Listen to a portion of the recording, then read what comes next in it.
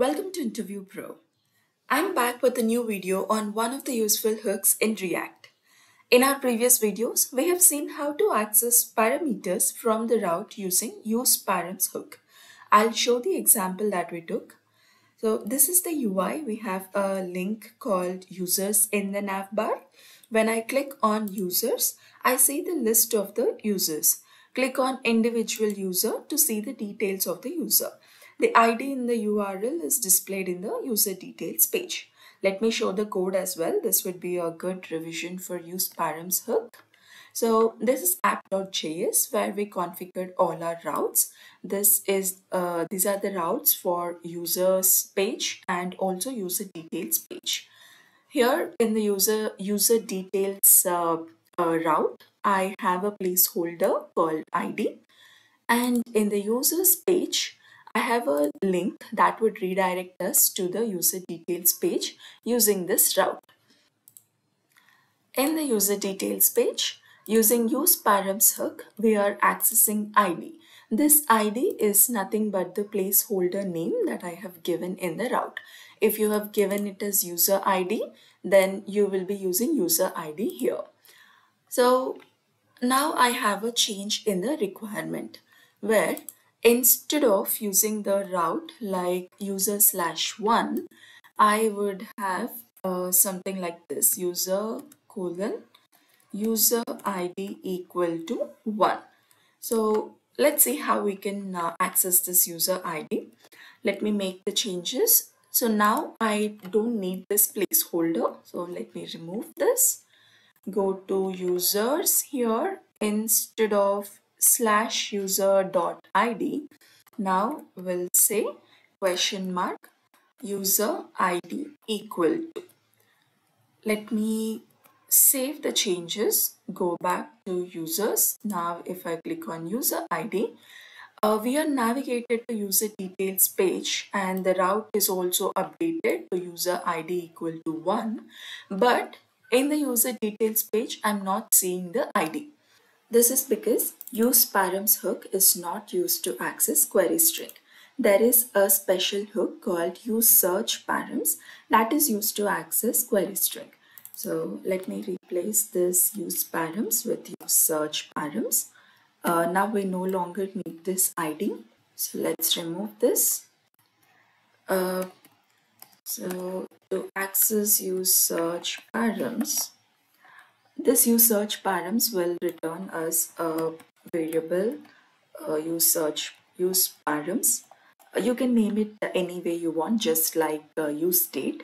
So I'm getting the variable from use search params and also a method that would allow us to set the search params. Let me console log this to see what is the data returned by this search params, go back to UI. Let's click on user 1, inspect. In the console, we see an object called useSearch, URL search params. But there is not much information useful here except uh, there is a variable called, uh, there is a property called size which is equal to 1. So this size indicates the number of parameters we have in this uh, query string uh, since we have only user ID, the size is 1. Let's go back. Uh, so there is something called entries in uh, URL search param. So if I open the prototype, you see something called entries. So let's uh, uh, console log what is present in entries. I'll clear the console, click on user user 1. Now we have an iterator. So let's loop this, loop through this to see what is present in entries. For const entry in search params dot entries. Now console log each entry.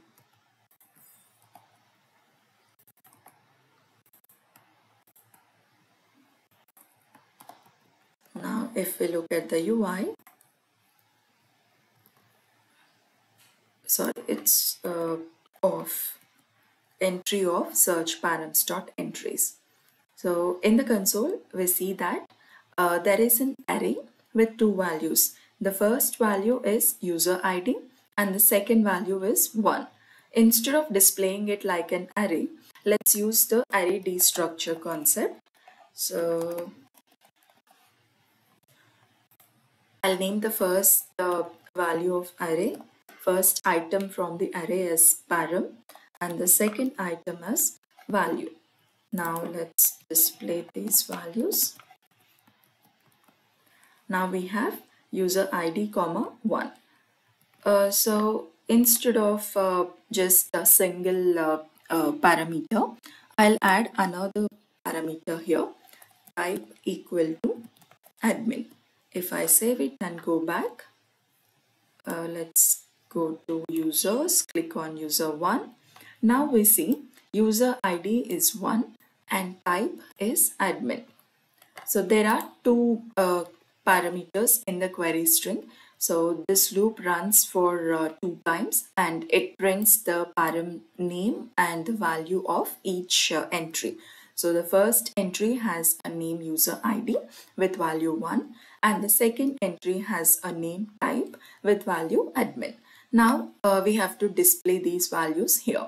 So uh, we can either uh, you uh, loop through the entries and uh, access these values use another variable and set that uh, variable with this value but there is also another way through which you can access the value of the parameter that is let me create another variable I'll say id equal to search params dot get. Inside get you can simply provide this name. If you want the value of user id provide user id if you want the value of type then provide type. So i want user id here.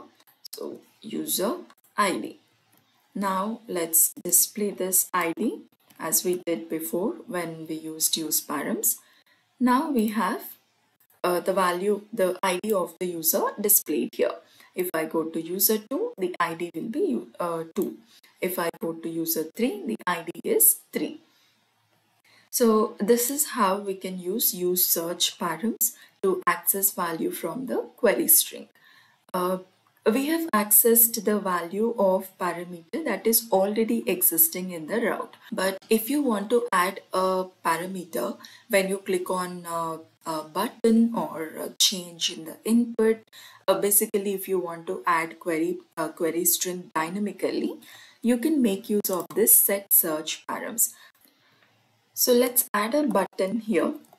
Uh, this button I'll call it add to query string.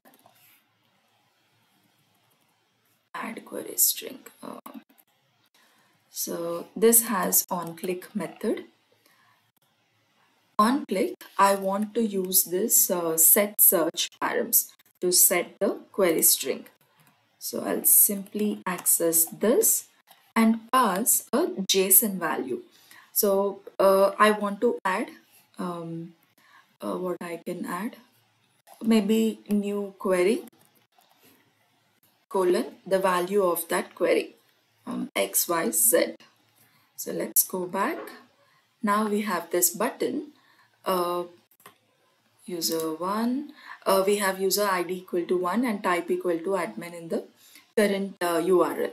Now if I click on add to query string, we see that the old uh, uh, query string is gone and the new query string is added. So this is how you can add the query strings dynamically using use search params.